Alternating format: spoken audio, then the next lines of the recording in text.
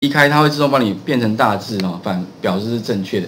像这个地方啊，同学常常，比如像 sale 常犯的错误是这样，比如说你打 sale 有没有移开还是小写？为什么？因为你打错了，对。所以如果你打一个 sales，对，它小写对，你移开变大写了，好，那表示你没打错。这个也是一个尽量避免哈城市打错的一个技巧。OK，好，那我们输出到哪一栏呢？输出到 F 栏，所以把这个改成 F，这改成 F，对，然后里面的话就改成 U 跟列，程式就写完了。好，应该了解我的意思了哈。哎，OK，所以你会发现乘积跟业绩差别是在哪里呢？差别就是多一个 and 而已啦，对不对？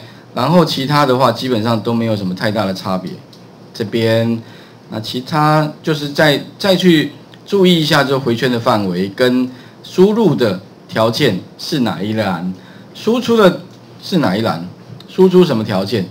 好了之后的话，我们来试试看哈，VBA 一样按什么执行，有没有？就输出了？OK，那你也可以把它把它自中一下，感觉会比较好看一些些，然后再把它做清楚，再执行看看。OK，那一样哦，如果你要做一个清除的话，就是在复制贴过来，然后再做一个什么业绩清除，旁边做按钮，哎，这个部分就完成了。那一样的方法，制定函数也可以 copy 贴上。改一些地方，所以基本上你们要学的就是那个它的规则吧。你规则熟了之后，其实做变化很快的就可以做得出来了。OK，好，这里的话，我想各位试试看哦。那把重点提示一下，第一个，这个公司应该没问题吧？好，因为我我们预测各位对函数应该是 OK 的。我们主要是要学的是后面这两个。好，OK，好，这里的话，我想各位试试看，好吧？画面先还给各位一下哈。